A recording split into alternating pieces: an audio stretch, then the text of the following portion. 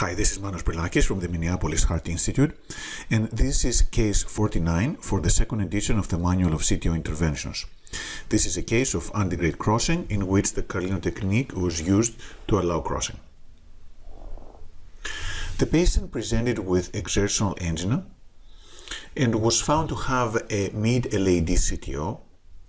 It was an occlusion with a blunt proximal cap, with an ambiguous proximal cap, a large diagonal at the origin of the occlusion, and then a bifurcation on the distal cap with the septal coming off of the distal cap. There were septal collaterals coming from the posterior descending artery into that inferior branch. However, those collaterals did not appear to be very good for retrograde approach because they were connected to the inferior septal branch but not in the main LAD, and they were actually emptying very close to the distal cap. So in summary, we had an ambiguous cap, about 30 millimeter long occlusion, bifurcation of the distal cap and some septal collaterals, but probably not the best. And that is why the first approach was antegrade wire escalation, followed by antegrade dissection reentry, and leaving retrograde as the last resort. We did intravascular ultrasounds and clarified the location of the proximal cap, and then we were able to perform antegrade wire escalation with a Fielder XT guide wire that seemed to be advancing in the right plane. There is movement of the wire in sync with the mid-LAD. However, despite multiple efforts, we were unable to advance a variety of wires such as the Gaia Second, Fielder XT and Pilot 200 further down. There was likely tortuosity and calcification and the wire was stuck.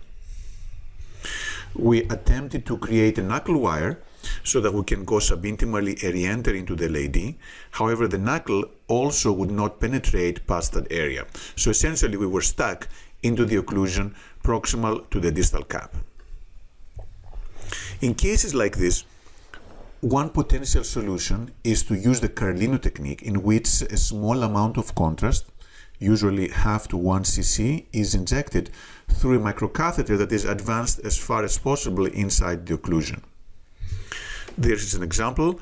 There is contrast actually instead of going forward, it is going mainly backwards, which can be a problem because it could compromise the flow into the proximal vessel. However, in this particular case, there remained flow into the diagonal, and that is why we had a safety wire in the diagonal branch to protect it if something should happen to the more proximal vessel. And immediately after this, very easily with a Pilot 200 guide wire, we were able to cross through the occlusion into that septal branch at the distal cap. This is therefore an example where the Carlino technique did cause some micro dissection, created a potential channel for the wire, which then very nicely followed through the occlusion distal to the distal vessel. Of course, the challenge now was that the wire was not in the main LAD but in the septal branch. How could we advance a wire in the main branch? And there are many solutions to that. One is to advance a dual lumen microcatheter and advance the second wire over it. But sometimes the other option is get a knuckle wire in there and then be able to hook the main vessel coming back. In this particular case, however, the Turnpike would not advance past that area, past that area of the mid LAD, probably because of severe tortuosity. Tried again with another wire, we could not do it, and we cannot advance a twin pass past the mid LAD to the distal cap, once again, those severe calcification. However, by doing Uh, significant wire escalation with another Pilot 200 wire, we were then able to advance through the distal cap into the LAD. The lesion could not be crossed with the microcatheter, but then once we did dilation with a threader balloon, we were then able to deliver the Turnpike LP distal to the distal cap into the distal true lumen. After switching for a workhorse wire, we did dilate the entire occlusion.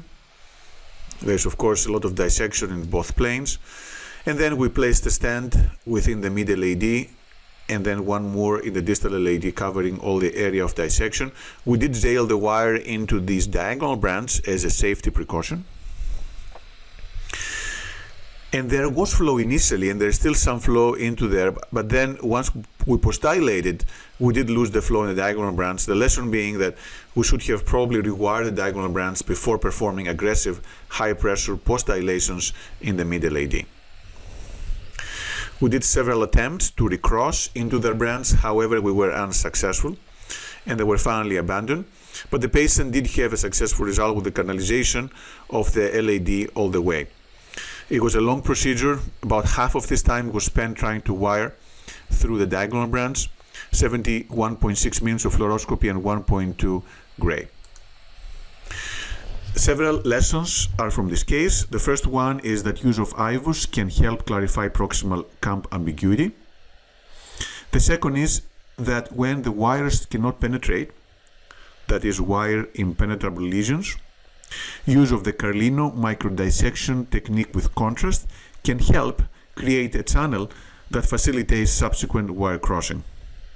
The third is for balloon uncrossable lesions to have an algorithm on how to approach them and quite often use of the threader catheter can provide some crossing and facilitate microcatheter advancement. And lastly, it is important to protect the side branches, both at the proximal and distal cap. In this case, probably we should have rewired the diagonal branch after we perform stenting of the main vessel before performing high pressure postdilation, which have minimized the risk for losing that branch during these postdilations. Thank you.